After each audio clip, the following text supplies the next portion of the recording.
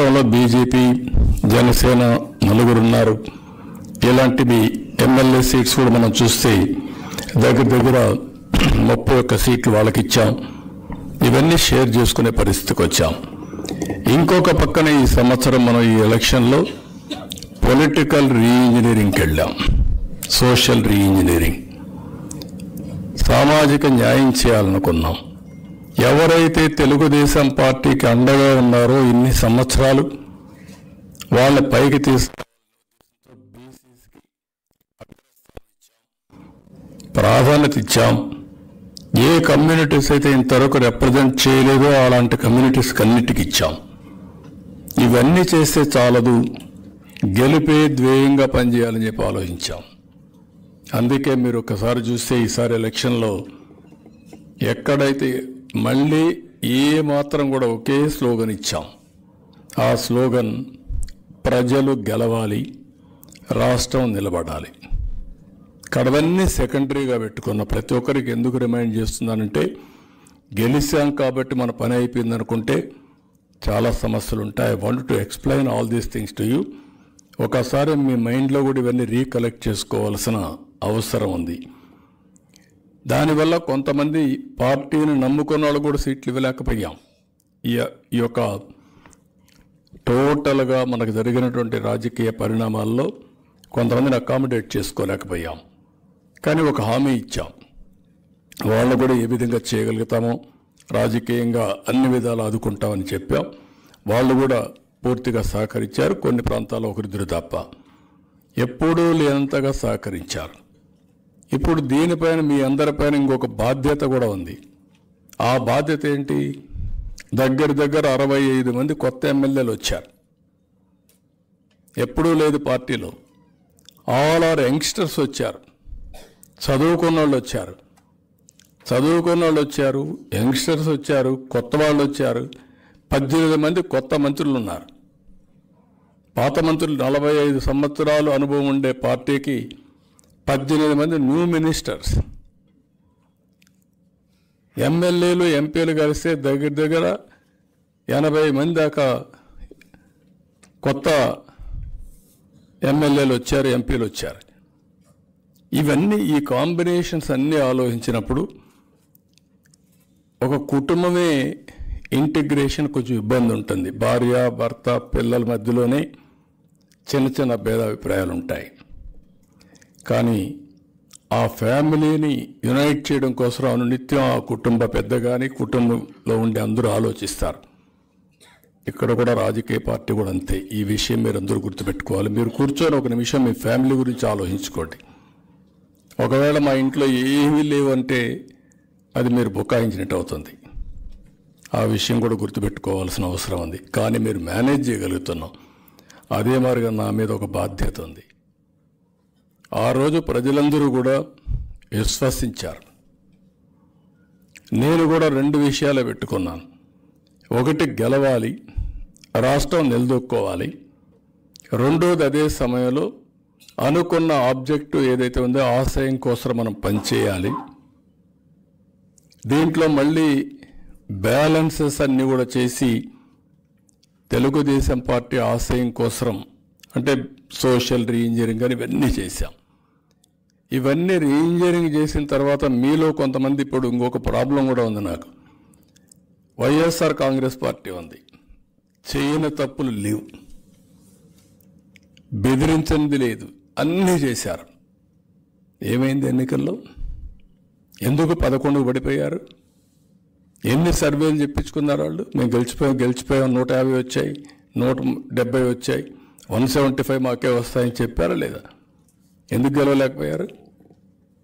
అంటే ఆ రోజు వాళ్ళు చేసిన పనులన్నీ ప్రజల్లో మనసుల్లో ఉన్నాయి. విధి లేని పరిస్థితుల్లో ఎవరు మాట్లాడలేకపోయారు.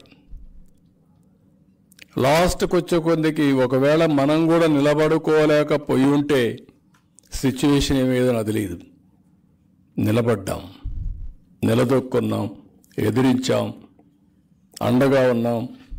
అందుకే మొత్తం రాష్ట్రం అంతా ర్యాలీ అయ్యి చరిత్రలో ఎప్పుడూ జరగనటువంటి ఒక విప్లవం ninety three percent strike rate వచ్చింది. ఈరోజు నైంటీ త్రీ పర్సెంట్ వచ్చిందంటే మీరు గుర్తుపెట్టుకోవాల్సిన ఒకటి ఉంది. ప్రతి ఒక్కరు ఆలోచిస్తూ నేను ఓటేశాను నేను పనిచేశాను నేను కష్టపడ్డాను ఇవన్నీ వాస్తవాలు. అమెరికా నుంచి కొంతమంది వచ్చారు. ప్రపంచంలో అనేక దేశాల నుంచి వచ్చారు.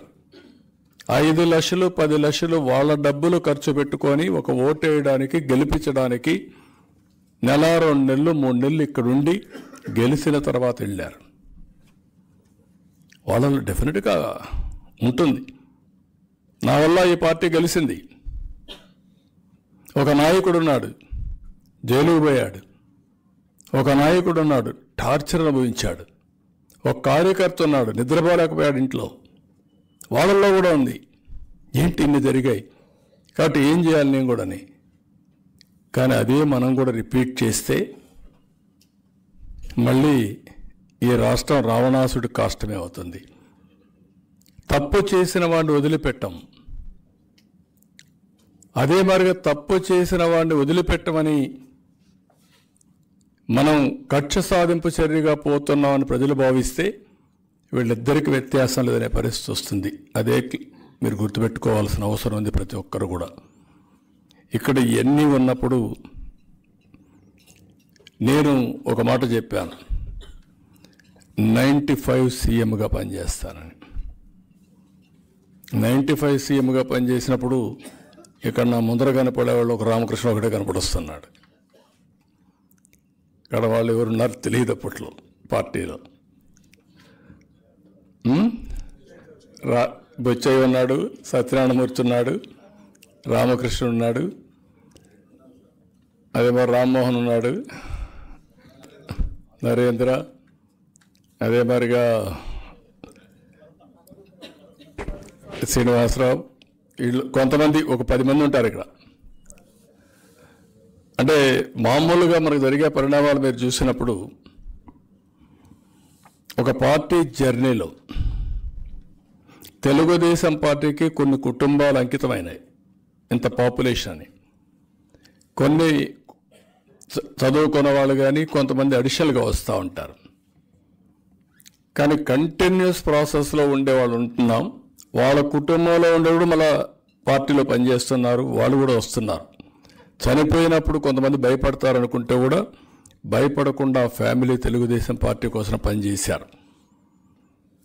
అందుకని ఇవన్నీ కూడా ఈరోజు మీరు గుర్తుపెట్టుకోవాల్సింది. మళ్ళీ మనం అందరం కూడా ఒక సంఘటిత శక్తిగా లేకపోతే ఒక కొహిషన్తో పనిచేస్తే తప్ప ప్రజల ఎక్స్పెక్టేషన్స్ని మనం ఫుల్ఫిల్ చేయలేం. అదే సమయంలో మీరు కానీ నేను కానీ కొంచెం క్రమశిక్షణ ఆలోచన విధానాలు డిఫరెంట్గా ఉంటాయి. మీరు ఇంట్లో ఉండి మీ ఆలోచనలు అమలు చేస్తే ఏం బాధ ఉండదు. ఈరోజు ఏ పరిస్థితి ఉంటుందంటే లాస్ట్ మైల్లో ఉండే గవర్నమెంట్లో ఒక చిన్న ఉద్యోగి తప్పు చేస్తే సీఎం మీద పడుతుంది. అదే మాదిరిగా ఎన్డీఏలో ఉండే ఏ కార్యకర్త తప్పు చేసినా అది చీప్ నిష్టపడుతుంది.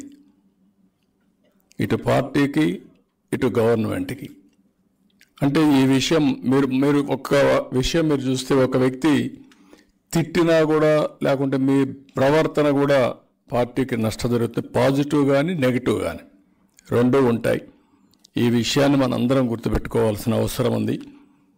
ఇవి గుర్తుపెట్టుకుంటూనే నేను మధ్యాహ్నం కూడా కొన్ని విషయాలు మీతో మాట్లాడతాను. మాట్లాడి నేను నైంటీ ఫైవ్లో నేను చాలాసార్లు చెప్పాను. నైంటీ ఫైవ్లో నేను సీఎం అయినప్పుడు చాలా ఫాస్ట్గా వెళ్ళాం. ఫాస్ట్గా వెళ్ళాం.